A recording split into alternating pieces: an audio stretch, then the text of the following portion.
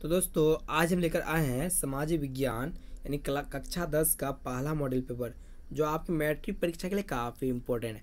जैसा कि आपको न्यू पैटर्न के अनुसार आपको फोर्टी एट क्वेश्चन पूछे जाएँगे, जिनमें से आपको मात्र चालीस परसेंट का ही आंसर देना है। तो फ्रेंड्स इसमें हम फोर्टी एट क्वेश्चन को डिस्कशन करेंगे, जो आपके एग्ज़ाम्स के लिए बहुत ही इंपॉर्टेंट होने वाला है। तो फ्रेंड्स मेरे चैनल पर नए तो चैनल को सब्सक्राइब कर देना दोस्तों वीडियो को लाइक कर दीजिए तो फिर वीडियो को स्टार्ट करते हैं। तो फ्रेंड्स आज का पहला प्रश्न है, यूरोपीय सभ्यता का पहला पालना किसे कहा कहा जाता था? तो फ्रेंड्स इसका सही आंसर हो जाएगा, यूरोपीय सभ्यता का पालना किसे कहा जाता था? तो इसका राइट आंसर हो जाएगा दोस्तों ऑप्शन नंबर डी यूनान को। बढ़ते अगला प्रश्न की ओर, जो दोनों प्रश्न है 1917 की रूसी क्रांति के समय किस जार का शासन था? तो फ्रेंड्स इसका राइट आंसर हो जाएगा ऑप्शन नंबर डी निकोलस द्वितीय। अगला प्रश्न की ओर बढ़ते हैं, जो अगला प्रश्न भी आपके एग्ज़ाम्स के लिए इम्पोर्टेंट है।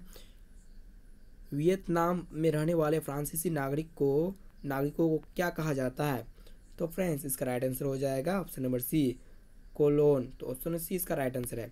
अगला प्रश्न की ओर बढ़ते हैं, जो चार प्रश्न है, किस खनिज किस खनिज को उद्योग की जननी माना गया है? तो फ्रेंड्स ये ये प्रश्न हम अपने, यानी कि जोग्राफी में हम जो वीडियो बनाए हैं, उसमें डिस्कशन किए हैं, जो किस खनिज को उद्योग की जननी माना गया है।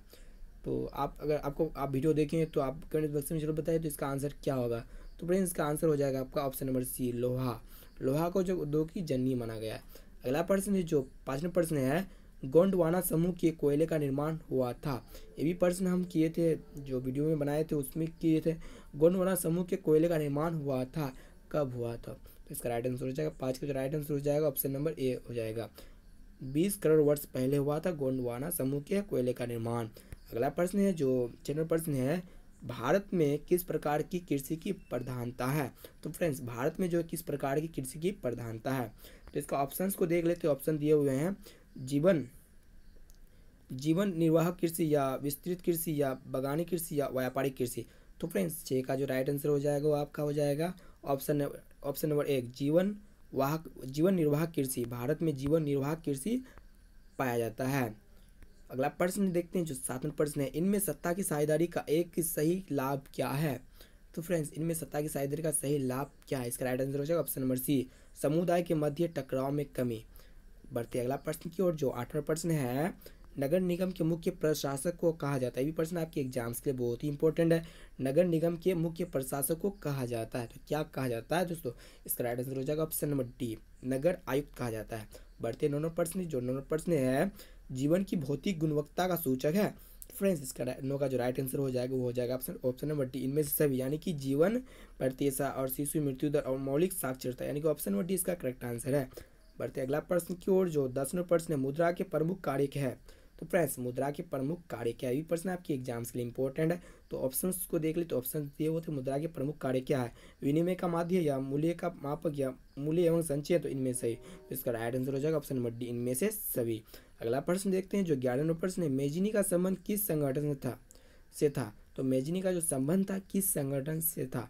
तो इसका राइट आंसर हो जाएगा ऑप्शन नंबर बी कार्बोनर ये भी ये भी प्रश्न आपके एग्ज़ाम्स के लिए इंपॉर्टेंट बनते हैं फ्रेंड्स अगला प्रश्न देखते हैं जो बारह नंबर प्रश्न है, रूस में जार का अर्थ क्या होता है? तो फ्रेंड्स रूस में जो जार का अर्थ क्या होता है? इसका राइट आंसर हो जाएगा ऑप्शन नंबर डी रूस का सम्राट. बढ़ते, अगला प्रश्न की ओर जो तेरह नंबर प्रश्न है हुआ हुआ आंदोलन किस प्रकृति का था? हुआ हुआ हुआ आंदोलन किस प्रकृति का था? तो तेरह का जो राइट आंसर हो जाएगा क्रांतिकारी धार्मिक। अगला प्रश्न है, जो पंद्रह प्रश्न है, भारत में खिलाफत आंदोलन शुरू हुआ। तो इसका राइट आंसर हो जाएगा ऑप्शन नंबर ए उन्नीस सौ बीस ईस्वी में। अगला प्रश्न है, जो पंद्रह प्रश्न है, उन्नीस सौ सत्रह ईस्वी में भारत में पहला जूट मिल किस शहर में स्थापित हुआ? ये प्रश्न आपके एग्ज़ाम्स के लिए इंपॉर्टेंट है फ्रेंड्स ये इसका राइट आंसर हो जाएगा। ऑप्शन नंबर ए कोलकाता में जो हुआ था 1917 ईस्वी में, भारत में पहला जूट मिल शहर स्थापित हुआ था। बढ़ते अगला प्रश्न की ओर जो सोलह प्रश्न है, पूंजीपति वर्ग के द्वारा किस वर्ग का शोषण हुआ? तो इसका राइट आंसर हो जाएगा फ्रेंड्स इसका right answer option number D उपयुक्त सब यानी कि श्रमिक वर्ग, माध्यम वर्ग और कृषक वर्ग। बढ़ते अगला प्रश्न की ओर जो सत्रह नंबर प्रश्न है प्राचीन काल में किस स्थल मार्ग में, मार्ग से एशिया और यूरोप का व्यापार था? दोस्तों, इसका सही आंसर हो जाएगा ऑप्शन नंबर बी रेशम मार्ग।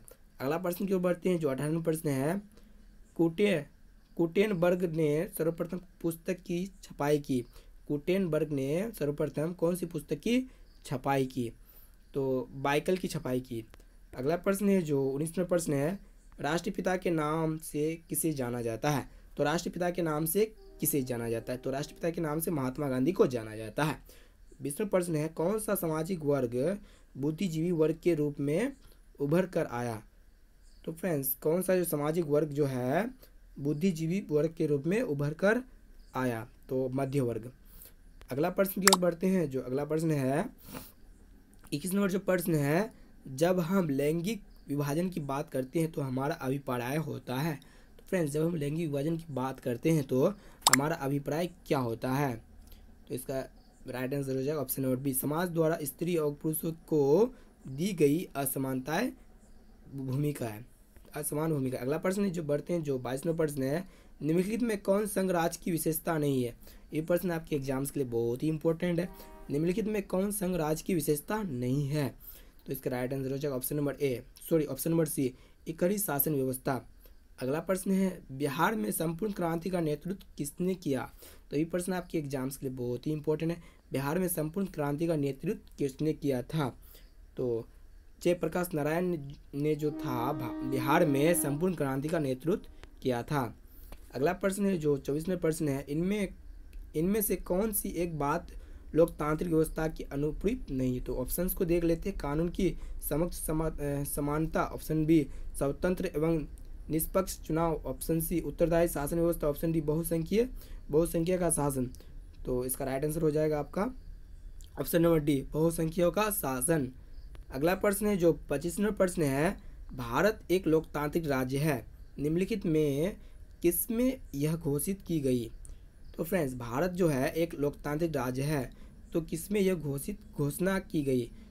ऑप्शन एक ऑप्शंस को देख लेते हैं। प्रस्ताव प्रस्तावना या पाठ या कानूनी पुस्तक या नागरिक शास्त्र तो इसका राइट आंसर हो जाएगा पच्चीस का ए नंबर प्रस्तावना।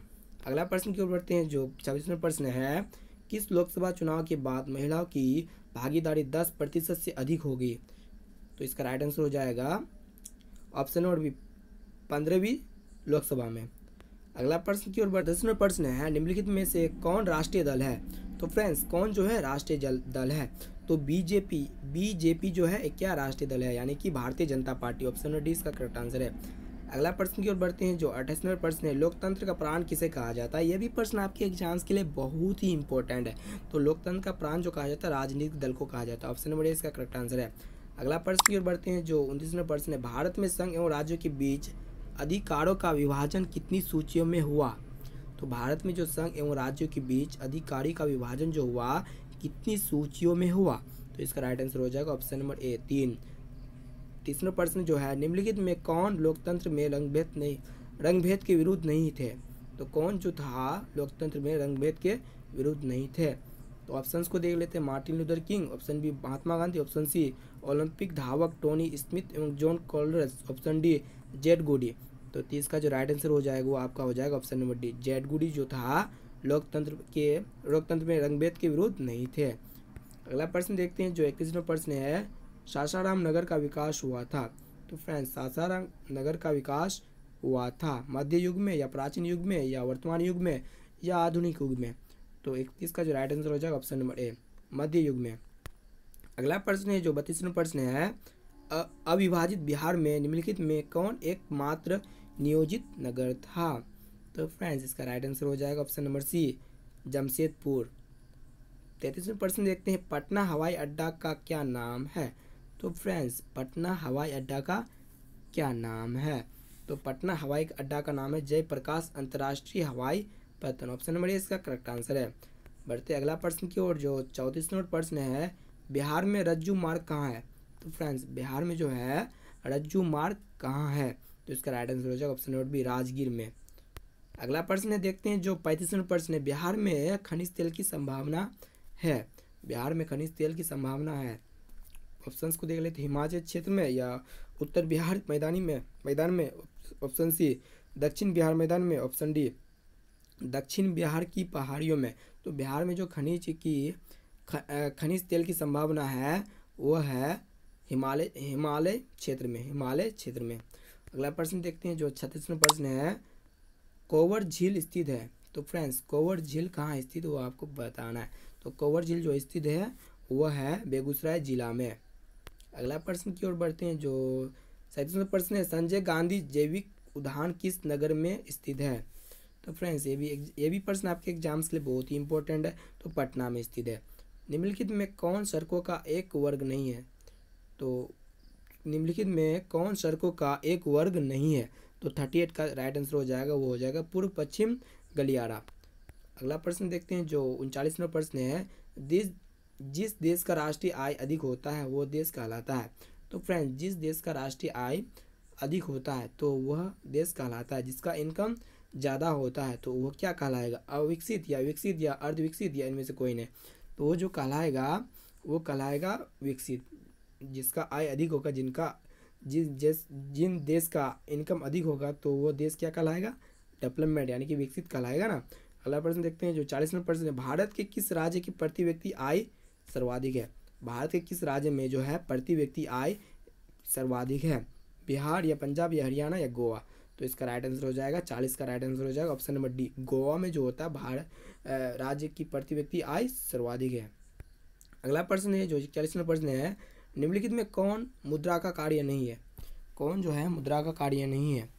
तो इसका राइट आंसर हो जाएगा फ्रेंड्स कौन जो है मुद्रा का कार्य नहीं है? तो ऑप्शन नंबर डी इसका कार्य नहीं है, उत्पादन जो है मुद्रा का कार्य नहीं है। बयालीस नंबर प्रश्न देखते हैं, जो बयालीस नंबर प्रश्न है भारत का केंद्रीय बैंक कौन है?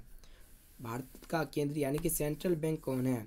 रिज़र्व बैंक ऑफ़ इंडिया या क्षेत्रीय ग्रामीण बैंक या स्टेट बैंक ऑफ़ इंडिया या पंजाब नेशनल बैंक। तो भारत का केंद्रीय बैंक कौन है भी प्रश्न आपके एग्ज़ाम्स के लिए बहुत ही इंपॉर्टेंट है। तो रिज़र्व बैंक ऑफ़ इंडिया क्या है? भारत का केंद्रीय बैंक है, जिसको कहते हैं RBI Reserve Bank of India अगला प्रश्न क्यों बढ़ते हैं? जो तैतालीस नंबर प्रश्न है, ऊर्जा का मुख्य स्रोत क्या है? ऊर्जा का मुख्य स्रोत क्या है? तो ऊर्जा का मुख्य स्रोत है कोयला, पेट्रोलियम और विद्युत, यानी कि इनमें से सभी। अगला प्रश्न देखते हैं, जो चौवालीस नंबर प्रश्न है, पार्ले समूह के थम्स अप ब्रांड को किस बहु बहु बहुराष्ट्रीय कंपनी ने खरीद लिया। पार्ले समूह के थम्सअप ब्रांड जो होता है ना बहुराष्ट्रीय कंपनी ने किस किस बहुराष्ट्रीय कंपनी ने खरीद लिया? तो वो खरीद लिया कोका कोला ने। अगला प्रश्न देखते हैं जो पैंतालीस नंबर प्रश्न है। निम्नलिखित में किसे बाढ़ के सबसे अधिक हानि होती है? तो फ़सल को या पशुओं को या भवनों को या उपयुक्त सभी तो बाढ़ से सभी को यानी कि उपयुक्त सभी पशुओं को भी हानि होता है। फ़सलों को भी हानि होता है और भवनों को भी हानि होता है। अगला प्रश्न देखते हैं जो छियालीस नंबर प्रश्न है। सामान्य संचार व्यवस्था के बाधित होने का मुख्य कारण है। केबल का टूटना या संचार संचार टावरों की दूरी या टावर की ऊंचाई में कमी। तो फोर्टी सिक्स का हो जाएगा सही आंसर। ऑप्शन नंबर ए, टेबलों का टूटना। अगला प्रश्न देखते हैं जो सैंतालीस नंबर प्रश्न आग से जलने की स्थिति में किस प्राथमिक उपचार की आवश्यकता है? ठंडा पानी डालना चाहिए या गर्म पानी डालना चाहिए या अस्पताल पहुंचाना चाहिए इनमें से कोई नहीं। तो आग से जल, जब आग से कोई जल जाता उस पोजीशन में किस प्राथमिक उपचार का आवश्यकता करना चाहिए? तो ठंडा पानी डालना चाहिए। ऑप्शन नंबर ए इसका करेक्ट आंसर है। अगला प्रश्न की ओर बढ़ते हैं, जो अड़तालीसवें प्रश्न है। भूकंप केंद्र के ऊर्ध्वाधर पृथ्वी पर स्थित केंद्र को क्या कहते हैं? जहाँ भूकंप का केंद्र है, उसके ऊर्ध्वाधर पृथ्वी पर स्थित केंद्र को हम कहते हैं, क्या कहते हैं? तो उसको कहते हैं अधिक केंद्र तो